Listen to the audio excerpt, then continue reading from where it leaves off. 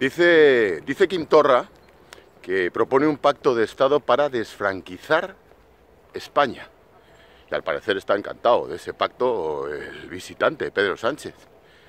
¿De verdad hay que seguir aguantando la indignidad y la jeta, el, el supremacismo y la superioridad de este tío? Completamente acomplejado, completamente ido.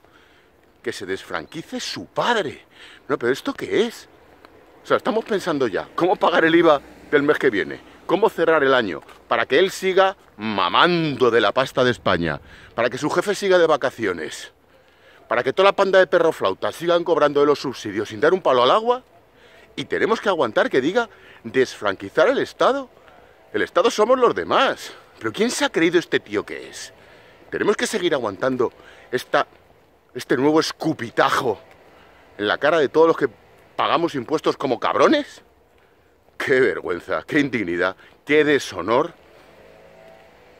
En fin.